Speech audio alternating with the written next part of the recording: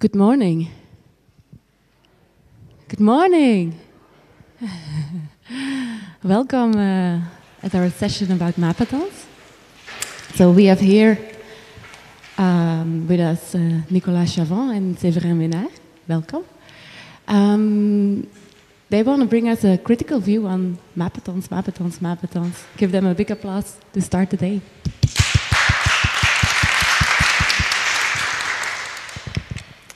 Okay. Uh, thanks very much.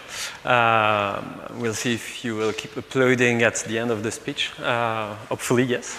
Um, so the idea uh, that we had uh, by um, going for this Mapathon Mapathon um, talk was to um, to present uh, the history of that form of collective mapping that that happened in in OpenStreetMap. But we're doing that from uh, a perspective which, uh, which is ours, which is bit oriented. And, uh, and so um, that's not a purely neutral way of looking at, at Mapathon. Um, Seb and I have been involved in the humanitarian OpenStreetMap team, and uh, we had disagreements on how things have to operate, which is perfectly healthy and sane in any organization and in OpenStreetMap. And the way that we're looking at things uh, derives from, uh, from that perspective. Uh, in terms of outline, uh, first we somehow inspired ourselves from Faulkner with uh, this Mapathon Mapathon, but the idea is to use it as uh, showing what's the first form of Mapathon, how it it appeared in the OpenStreetMap ecosystem. Then we saw gradually a second form of Mapathon, which is more or less the one that we're familiar with. And uh, hopefully we're just going to keep working and improving Mapathons and maybe a third form is going to emerge, which uh, will perhaps meet uh, some community requirements with respect to uh, the limits that at the moment we can see in Mapathon. So I'm going to let Seth uh, continue the talk now. So um, this document is public, and uh, so we will share the, um, the, the, link uh, at the end. Um, so we'll start by a brief history of the Mapathon phenomenon, uh, aside uh, what is what's called and still called the, the mapping parties, in, uh, related to prison-based OSM activities. So mapping parties was uh, at the very core, at the very beginning in, in OpenStreetMap, and um, uh, generally related to uh, an activity involving the field uh, collection. Um, regarding Mapathon, uh, about historical facts that you can actually uh, uh, find if you uh, just look on the wiki OpenStreetMap about all the past events that have been made by event organi organizers. Um, the first, very first Mapathon was uh, in Atlanta. It was 10 years ago, and uh, it was, um, so, Atlanta Citywide Mapathon. And if you go to the, the wiki page, you can see that uh, it's, it was over several days, involving uh, local people, data collection, etc. And also on a second occurrence, two years after, in India, uh, same thing, long, uh, long duration. And after that, the next occurrence is with the, um, the disaster, natural disaster in Ayan in Nepal with the earthquake a few couple of years later. And um, with a humanitarian perspective.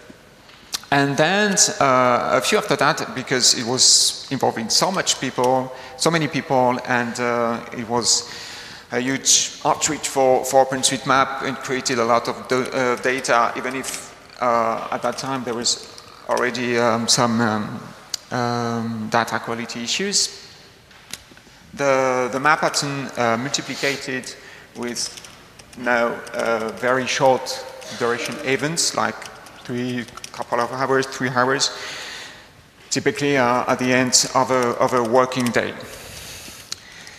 So now, um, that said, let's have a look of this Mapathon 2.0. I mean, the, what we have now. I mean, this, um, this this scheme of uh, short-based uh, mapathon. So um, basically what it is, it's uh, a way to, make, to do information outreach, kind of demo of mapping uh, party type in events. And it's generally essentially uh, directive uh, to the, for, for beginners. Um,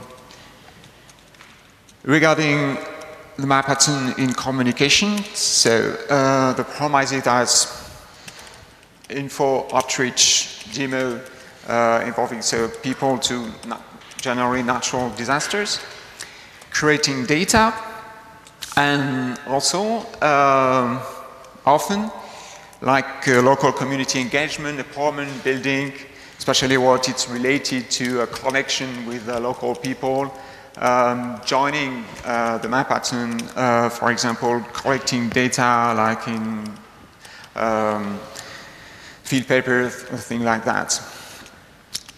Regarding the, the material of this, uh, of this mapathon scheme, sorry, you have, for example, this, this, uh, this documentation about two-minute tutorial how you, you, can, you can host uh, an OpenStreetMap mapathon. So, and it's basically the communication is anyone can organize uh, a mapathon and you, you will be explained how to do it and you will be directed to uh, a few resources to organize that.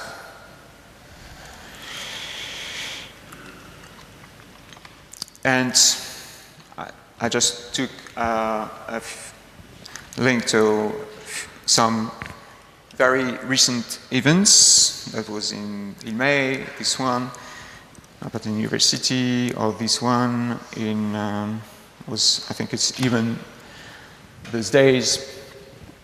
Okay, so September 24th, yeah, it's two days. And you can see that generally the end of the day, that's three hours long.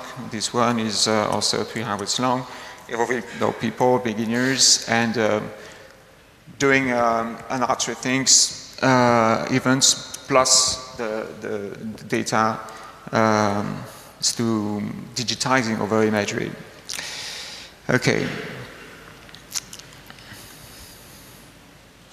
So now I'd like to put this, um, this map 2.0 scheme in, in, questions. So on our, our perspective, it's uh, a powerful information uh, outreach event like into a first training, a demo, because it's only three hours for, for people to be involved in OpenStreetMap. On that, on that front, that be, can be useful as to, to, to put newcomers in OpenStreetMap. And we know that any newcomers, when you do a training, you will have some uh, only 1% of the people that re really uh, like the thing, like the thing, and, and, stay, and stay active. That's not a, a problem for it. But we see the, the limits we, regarding, for example, the data quantity. I mean, the, the, I mean, the bulk the data that it produces really through these uh, short-term events is obviously uh, limited. And um, of course, there's a learning curve in OpenStreetMap and you cannot be effective within your first two uh, hours of, of mapping. That's um, kind of evidence for everyone if you remember your, your first step as a mapper. And regarding the data quality, um, so I just put a few examples, uh, old ones, more recent ones of, uh, of things that have been done through, uh, mapathons. And think as the data quality was not good in the beginning, as for example, never been um, corrected, um, I would say, by the mappers themselves or the organizers.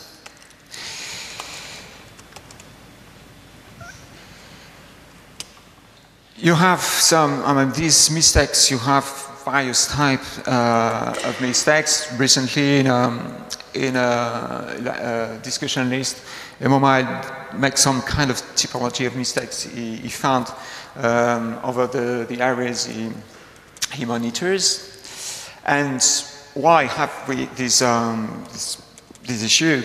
Uh, because first, there is actually no prerequisite skills involved, both for the participants, okay, that's the beginners, but not even for the organizers. If you go back, for example, these two-minute tutorials, anyone can do it, and they're, I mean, directly for uh, self-learning, uh, self-training uh, material, but actually anyone can do it, and I mean, it's um, it's known that, uh, unfortunately, many of the organizers are not skilled enough and not even very sensitized about the, the quality aspect. And generally, and even in this uh, two-minute tutorial, there's absolutely nothing said about you should do data cleaning after you mapathon. That's you, you mappers in the beginners will uh, certainly do mistakes and uh, you need to, to, to clean that out. And I mean, this, sorry this. And this, this scheme has been one of the two uh, reasons of uh, the OSMF establishing directing editing guidelines that are active from this year. The other reasons are the companies using OpenStreetMap are the way they want and not interacting with the, with the community.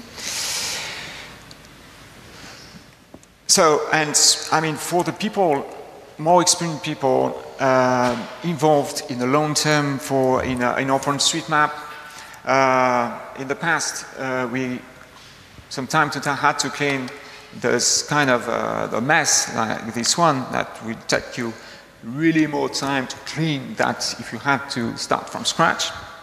And now, a feeling that, okay, because of that, we have now a second burden that the, the thing that could be done in a flexible way, not having guidelines to do it because we, we could do the, the mapping in an effect, effective way, like organizing um, directed editing without causing and harming the, the OSM uh, database. Now we have that um, to, to handle. And yeah, thank you for uh, mapathon organizers that just led the mess and we know to uh, have to, to deal with uh, more uh, rules to, to, to map. Okay. And so uh, regarding the communication, uh, community, sorry, engagement, the supports and the building, I mean, as, I mean, we think it's uh, really uh, over communicated because uh, you, you cannot build uh, community engagement uh, generally the way it, it, it's, it's done if you are just, for example, involving locals doing just a part of the, of the mapping uh, workflow.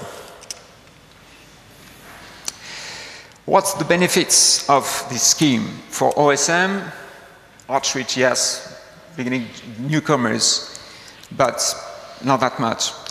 Actually, um, generally, we all the, the, the people involved as an organization uh, or as individuals or individuals cleaning uh, the uh, working on the, the same areas, they have to uh, now have a um, handle uh, so, uh, an extra charge of, um, of um, dealing with the, the, quality and uh, validating all the data has been done. But for uh, the organization involved in my patent, uh, there's a clear, that's really a huge communication did uh, through this mapathon, okay. So um, we think that it really uh, helped them to increase their power and centrality within uh, all the, what is called VTC, VGI, depends on the, more or less the same, same thing, that's uh, voluntary-based uh, uh, commu communities helping in the humanitarian field. And that's helped uh, the organization during this mapathon to, to appear as the one creating uh, voluntary-based uh, geodata for big stakeholders and funding orgs that will uh, give them funds to continue and other to, for, for their uh, other acti activities. And uh, also we, we think that this kind of instrumentalization of the OSM mappers and aiming at building for this organization and centrality. For example, uh, everyone be, uh, that participates to Mapathon, to use hot tools, etc., will be the volunteer of this organization, the hot uh, volunteers.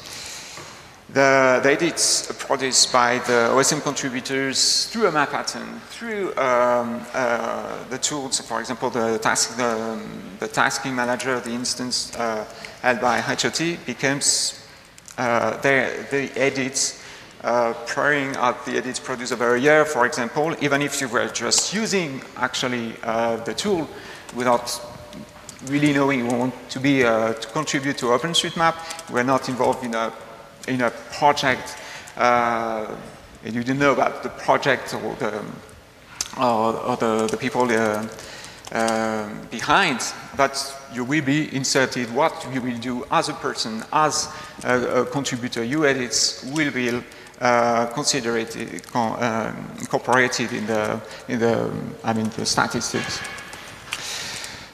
Uh, there's also a uh, worst case Mapathon uh, for disasters response. Is, uh, we had a, a, a bad um, experience with a Haiti cyclone Matthew, Matthew in, in English, Matthew in, um, in Haitian.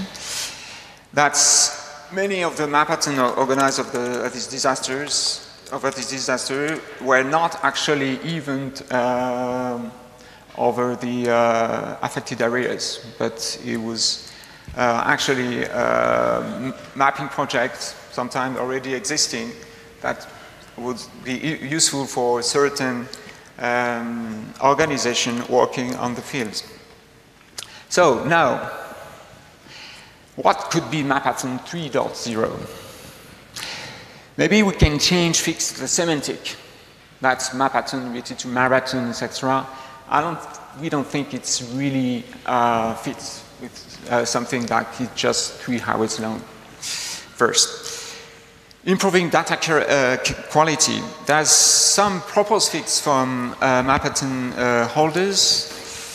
Um, for example, establishing uh, chief data officers. Would that be very uh, the solution? I don't think so. Uh, for example, Google Maps had some people uh, caring about quality, but they dropped Google uh, Map Maker. Uh, vetting a text process for, for the Mapathon leaders. I don't think it would be efficient.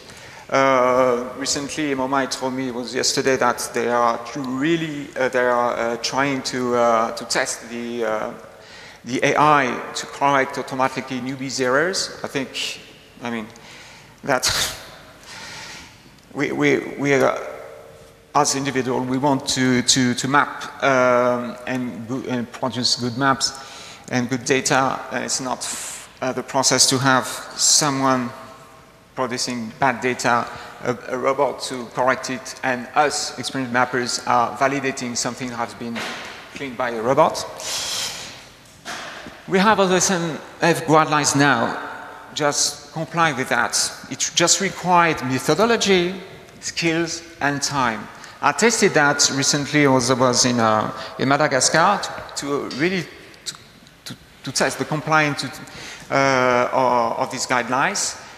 It takes time. It takes more time. Uh, actually, uh, I discovered more things about uh, monitoring data quality, but it was uh, three days of data cleaning process over this area to have something uh, cleaned after that. So just forget, I will have uh, two hours Mapathon and that, that's it. No, you have to, to care about the, the area and it takes time. And it's not uh, also, you cannot at TED, you cannot do it just through the, um, the tasking manager. You need all uh, other tools, like, uh, for example, Osmose, to, to do it.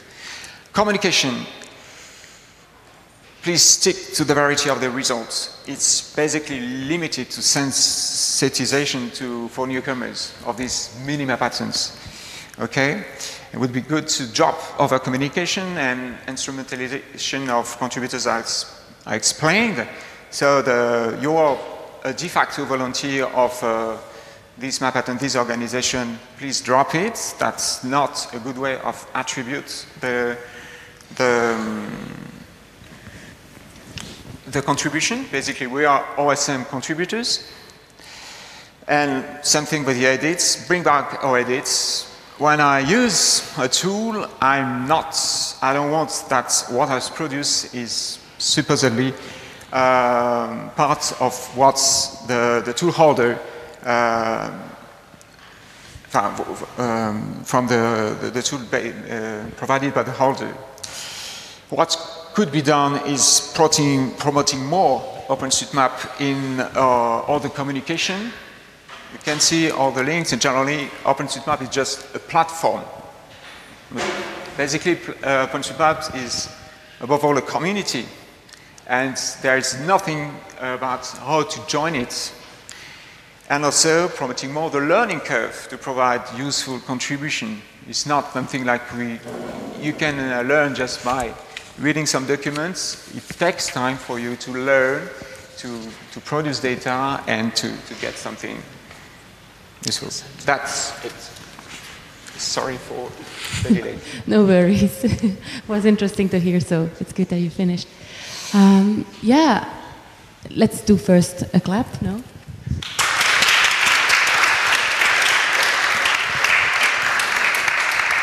Um, interesting, interesting points you bring forward. Uh, do people have questions for them? Yeah, question over there.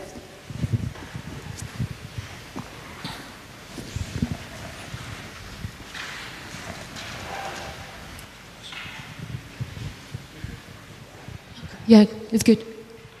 Um, I wonder um, if you uh, have any know of any studies about the effect of recruitment of the on uh, getting new mappers involved in OSM.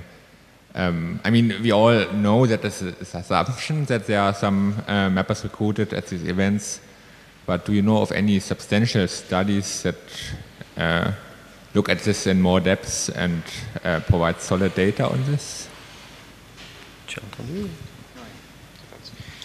Um, I really like someone uh, really good at uh, playing with statistics in, uh, with OSM, doing something like a really uh, a deep review of what has been done just to state that one, once for all. And I would say over the time would be good to have also breakdown by kind of events, by organizations, I mean, to, to give incentive or feedback for, to them. Because yes, it's, I mean, a broad, um, a broad feedback that generally we, we can provide, but really would, would be very, very useful to have such, uh, such deep analysis of uh, of contribution uh, through mapathons. Yeah, and that's a good thing that we are hosted in, a, in, an academic forum. So that's clearly a series of topics that would be very interesting to, uh, to focus on being very crisis or country specific or then just looking at more general patterns. Uh, that would really be helpful in terms of framing what's the communication which is suitable so that not to oversell anything and, uh, and stay true to the promises of uh, OSM in, uh, in that collective ways of doing. Hi. Um, I think I agree with most of everything you presented. My only complaint is you didn't attribute me on that mailing list post, um, but you attributed other people. Um, sorry. Can you speak louder? This is the first words I'm saying this morning, so okay. I'm sorry. No, I was saying I, I think I agree with most everything you presented here. My only complaint is you didn't attribute me on the uh, the mailing list post you have listed there. Um, joking. Um, I, oh, I think a lot of it is a communication issue, and uh, do you think that it's possible just to iterate on the version number in order to present a different concept, or do we need a new name for what these kinds of public engagement activities are? Should we go back to the label mapping party, or do you have some other ideas for what we would call a new and improved um, events like these? Yeah, uh, so the attribution was there in the, in the, in the French version, and uh, in the translation we forgot it. So, sorry, but we shall have, we shall have said Michel. So, um, uh, but uh, no, yeah, really, I think that one of the, of the first points uh, in terms of, uh, of steps, of first steps to, to take is to, to get back to the semantics and well, reflect on what it usually was, what it started to be. Shall we at the beginning, when, uh, when we were throwing mapping parties, we were doing most of everything. There was a sort of unconference around OpenStreetMap, and then it had a tendency to focus on, on field mapping. And the map as now is kind of a, an outreach, sensibilization, and then a remote mapping party that can focus on creating data or running data quality. And uh, I think that what is uh, what is difficult there is that when you use the theme map and you've got this marathon things in mind and the idea that it's lasting, that it's impactful in terms of data, and basically this is misleading. And since it's misleading, on the short run, that can spark interest from the people that are supporting us, but then when they will just look at what the Mapathon in that way it has been sold out is really delivering then we can face some, uh, some possible issues and, uh, and critics from people that we're supporting. And, um, and so I think that, yeah, that would be really cool to, uh, to try to relook at our practices and find ways to uh, define what is a like half a day, a couple of hours uh, mapping party working remotely on something on data creation or data quality and what can be something which is more important that will last really long and that is meant to uh, to meet uh, standards in terms of volume of data, quality of data, uh, sort of uh, incubator of skills and, uh, and support for, uh, for capacities, locally or remotely. And I think that would be really beneficial for all of us. Shall we do one last short question? okay. I'm just, yeah. I'll, I'll, try to be short. Um, my name's Dan. I should say my name's Dan. I'm involved in uh, the mapping parties in London. Um, I'm interested in this drop the volunteers de facto that you're um, suggesting. I see in London a lot of people coming in because they are volunteers, uh, motivated by these organisations. So it seems quite strange to, to, to, sort of try and exclude that. Mm-hmm.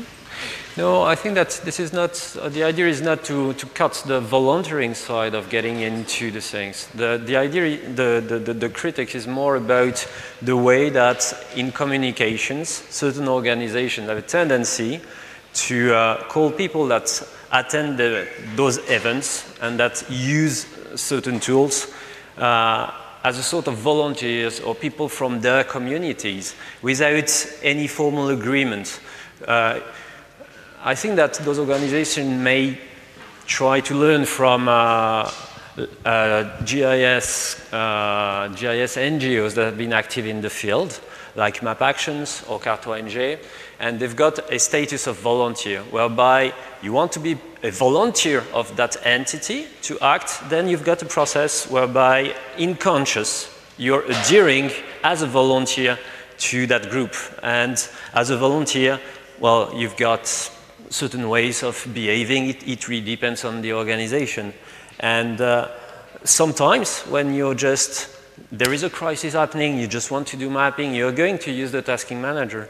Myself, when I'm using tasking manager and I'm mapping in Ebola with Claire and Kapai, in, uh, I'm not creating data for the humanitarian OpenStreetMap team organization. I'm part of an OpenStreetMap response, and then I'm using that platform, and I may be quoted as a volunteer or as a member of that community when I was acting in a very specific way. I mean, this is the, this is the point that we're making, but not cutting the volunteering. And we are treasuring the fact that there is an interest and a motivation to bring to OpenStreetMap people uh, based on the, the, neat the, the neat work which is done by those organizations. As we said, we said a mapathon, the way that has been promoted and the way that it, uh, it solidifies is a very powerful outreach uh, and info sensibilization demo tool. That's something which is very, very good. And we should leverage on that. And basically that's the whole, the whole set of framing the, the, the, the, the, the text, the, the, the, semantics, and, uh, and trying to stick to true communications, if ever possible, would be a good way for OpenStreetMap and those groups just to, uh, to fully capture the potential of Mapathon. Okay, thanks a lot. Uh, last big applause. Yeah. thanks to you.